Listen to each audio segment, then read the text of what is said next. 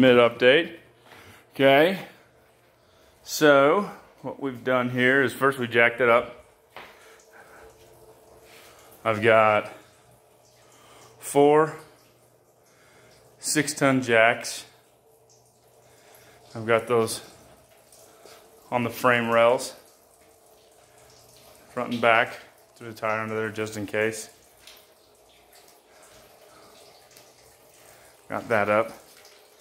The next thing I wanted to do was drain the, uh, I wanted to drain the uh, fluid, the uh, coolant. Uh, so the coolant's draining, move that. And to get access to that, you gotta take off the, uh, this big skirt thing on the front, which isn't bad. You've got a handful of, let's see, what size were they? Probably doesn't matter. Nobody cares. But they were uh, seven millimeter, and there was two eight millimeter big ones. So once those are off, it just kind of slides out and pops out. Then you got access to your uh, your screw for your coolant. Uh -uh. So I don't know how it works. I don't know. Uh, I don't know if this is gonna drain empty at the same time. Either way, I pop that off so the pressure would go down. And it'll still get crap everywhere undo these hoses, but that's just gonna be the nature of it. Just gotta keep the dog out of the garage. So, but we'll let that drain while I go get some donuts with the kids. Saturday morning ritual. And uh, we'll go from there.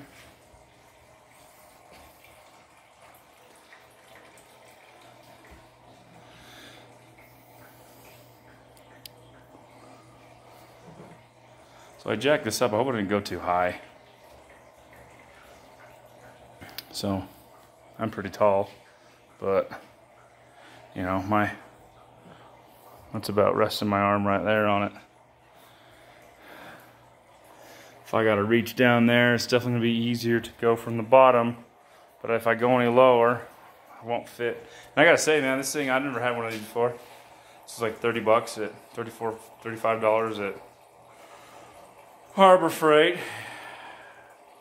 And honestly, it actually helped a lot, even with just something as stupid and simple as taking that thing off. Typically, I would have just uh, scoot under there and just kind of done it. I gotta tell you though, the, I mean, you're still having to reach your arm up and still do all that stuff, but it definitely uh, doesn't wear you out so much. I mean, just just kind of you know, even just beating your back up, kind of how you got to kind of wiggle your shoulders to get underneath there and kind of push. And it's got six casters, and even with these deep concrete cracks, um, I got caught once in that corner right there um, or like two of them, two of the wheels fell in there something like that. And I had to kind of shake to get out of it. But other than that, it was pretty nice. So, heck, man, should have bought one of those forever ago. And so when I jacked it up, I had to make sure I got high enough to uh, to do it. So we're the wise though. I had a little experience here a minute ago. So the way most cars are, these modern cars, especially that you know like the unibody ones, they uh, they always tell you to jack up on these things. Well, that might work great when you're only going up high enough just to get the tire up. But like an idiot, I didn't really think about it. I just threw the jack on the uh, jack on there, started jacking it up so I can get these these under there. Obviously, as these are bigger, it's harder to you got to go higher up to get on there. So, and I'd never really looked underneath the car before. This is the first time I had the car this high. And uh, I never looked uh, looked underneath to kind of figure out what looked like I could support it on. Couldn't find anything easy on YouTube or anything like that. And so I just jacked it up there. And uh, as you can see right there, that slipped. And the car, luckily, well, I shouldn't say luckily first, the car fell. Luckily, nothing was underneath it. I was anywhere near it. You know, I was back, you know, three feet away with the jack. It wasn't that high up. But it did slip and it did pop this off, this big plastic thing popped that off. Luckily, did not hit any of the car. Didn't didn't do anything. Kind of popped a little piece of sheet metal under there. Just popped it out a little bit. I hammered it back straight and uh, it worked fine. But I mean, broke two of these. I get some replacements to put those back on now. You know, and luckily it's all plastic, so everything just popped right back in. But um, definitely, uh, doing that, I was a little nervous doing the rest of this. I, it took me probably way longer than it needed to to jack this up and get that on, just because after that I was hyper, hyper aware of what I was doing, and every little pop or crunch or noise, I stopped and uh, I stopped and uh, checked it out. So with the jack stands, um, so Harbor Freight, you know, I, I bought these forever ago.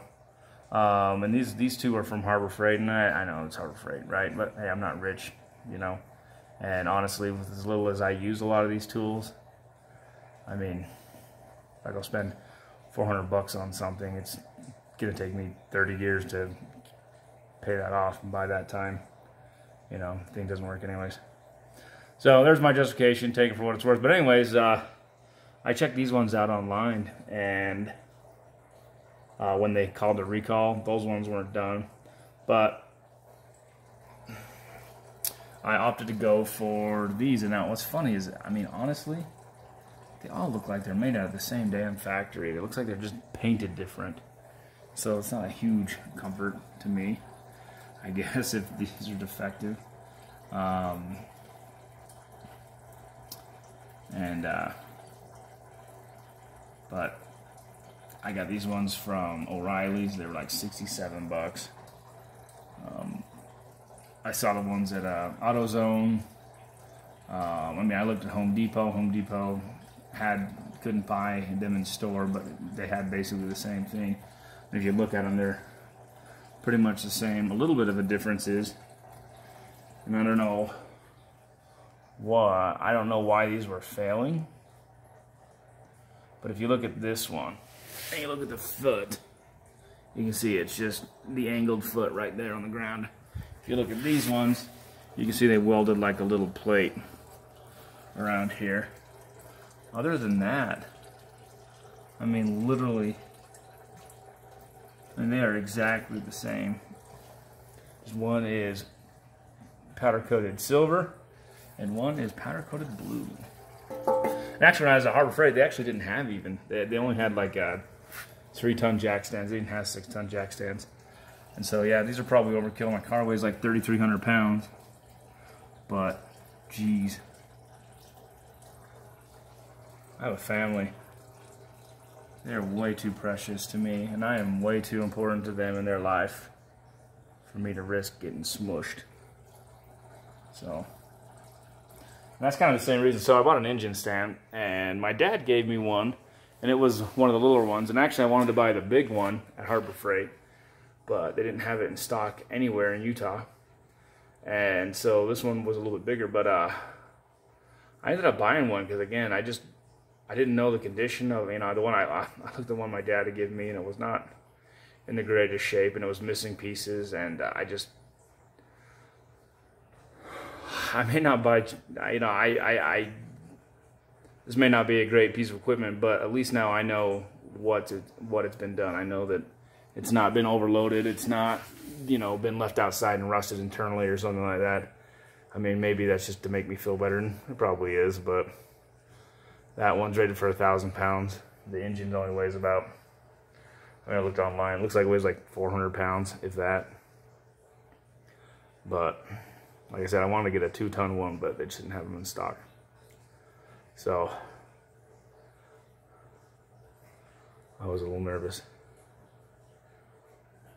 So I actually at Harbor Freight though, on the same note, at Harbor Freight I looked because I was trying to figure out what was going on with this yesterday or the other day. And I was going like, what the heck? How did this actually work?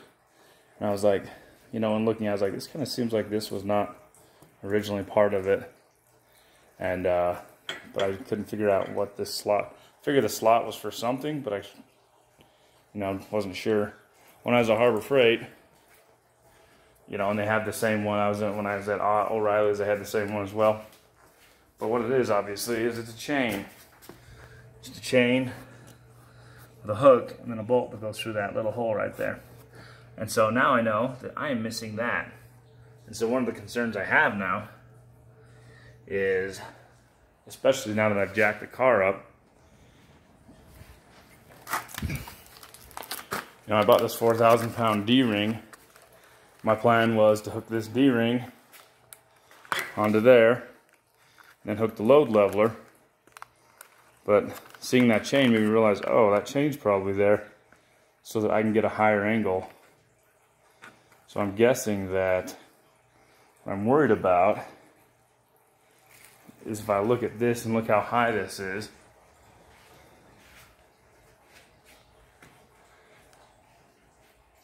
that, if I pull the engine out, so I'll get down about where that is, I'm gonna have to pull the engine up and my load leveler, load leveler is probably going to hit this, somewhere around there. So I may need to get a chain. Now I have like a 30 foot tow chain, but because it's just a slot, because it's just a slot right there, I can't actually pass chain through. I have to actually have like a cut chain. So what I may end up doing is just going down and getting like some hardened chain and uh, getting a, you know, grade 8 bolt to go through there and then a, a length of hardened chain and then just use my uh, use my D-ring on the end since I won't have a hook hook onto my load leveler. So yeah, I'll probably need like 10 inches of chain. Wasn't planning on that, but not a big deal. And it makes sense now. That hole that was there, that I put that in, that hole did not exist. And this did not exist, and this did not exist. So, there we have it. So, let's see what's going on here. Oh, look at that. Okay, so it is coming out of there. Oh, I was worried that was going to fill it up. We're not even close. Not even close. All right.